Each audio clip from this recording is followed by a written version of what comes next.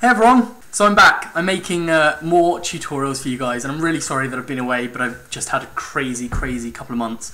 Uh, I've been doing loads of projects. I've been working on Java MP3, if you remember it. Um, I'm launching it again soon. I will post a video about that later on, but uh, I'm back and I'm making more tutorials. Okay, so the first tutorial uh, that I'm doing now is a CSS introduction. We've talked about CSS in the past and we've gone through some tutorials, but I'm really, I'm going to get you uh, back to basics and we're going to be working up on uh, CSS and we're going to be really focusing on it. Now what is CSS and what can it do for you? Okay, well number one, CSS is, it stands for Cascade Style Sheets. It's a really, really simple, quick and effective way of styling uh, HTML elements. CSS on its own can't really do a lot. Obviously with HTML it can really style your page and your website designs nicely. It can eliminate so many uh, random pointless elements, for example font, the font element. Now you can either implement CSS uh, internally into the HTML web page or you can have external CSS. There are different advantages and disadvantages to each one, but this uh, in these tutorials I'm going to be showing you how to do it externally because for website developers who've got lots and lots of different elements that they want to style, external is a lot easier. So let's get started. Okay, so the first thing we're going to do, we're going to open up Notepad.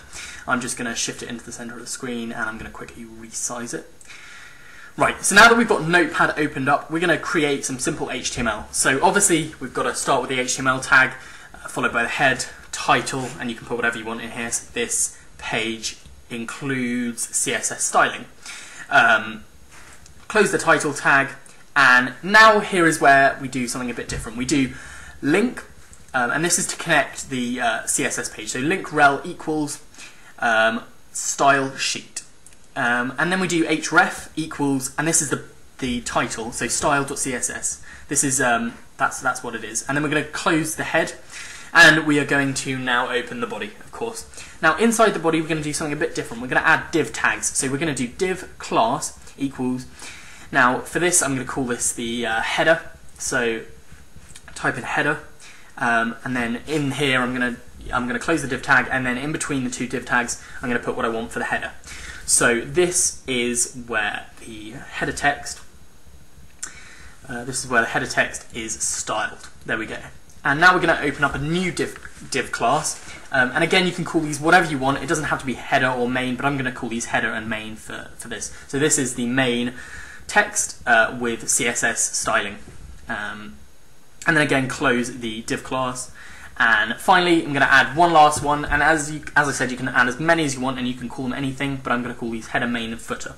So I've, I've made the footer one, I'm going to enter the text, so this is the footer, and uh, for this I'm going to add a copyright symbol in front of it, um, and to do this you do and copy um, and 2011. and you can do whatever you want, but that's just to add the copyright symbol because that often appears on the footer. And then again, close the footer on the div, and then close the body, and then close the uh, HTML. So there we go, we've got our simple uh, HTML page sorted out. Press File, Save As. I'm going to save it to the desktop, and we are going to save it as, uh, we're going to just title this one index.html. Again, you can call it whatever you want, but remember to have .html at the end of it. So now we've got this, we're going to open this up in uh, Google Chrome, which is the default one for an HTML file.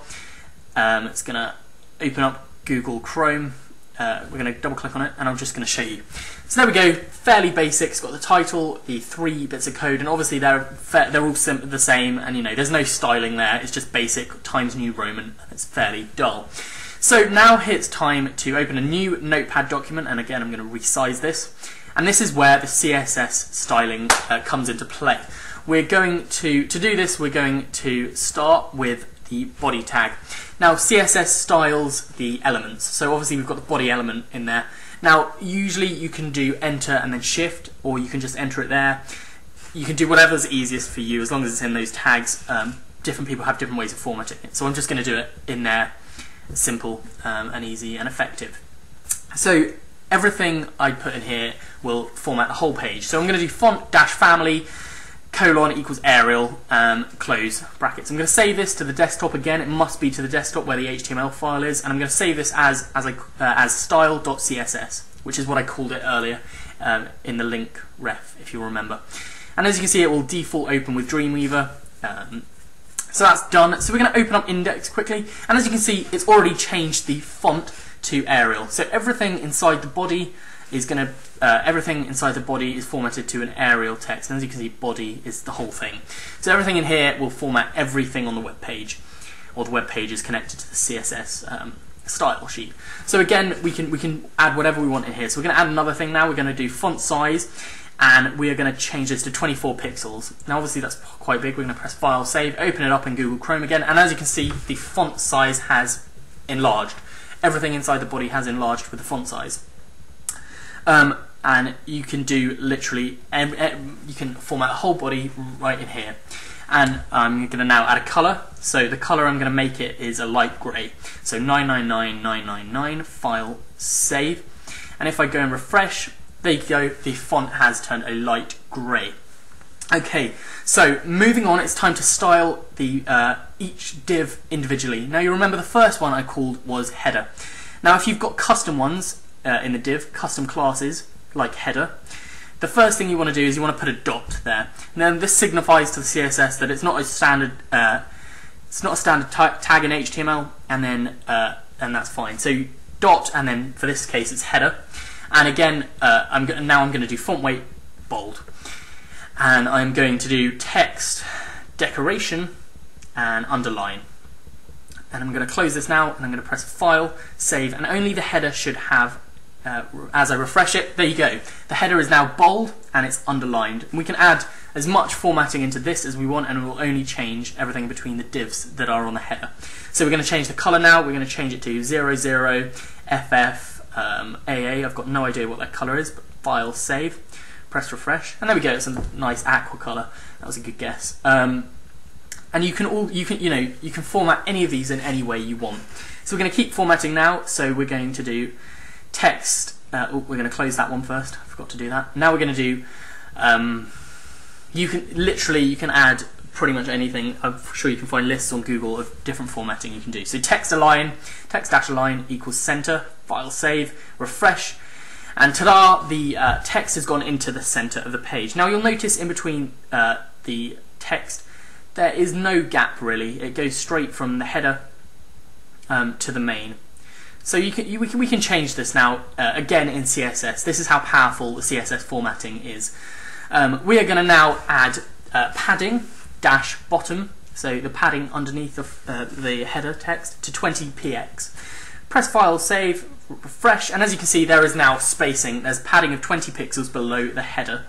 Um, which is really which is really good and as I said it's really powerful. So now we're going to go on to format the main again open this up we're going to start by um, doing the font size we're going to change the font size a bit now on this unique uh, unique tag.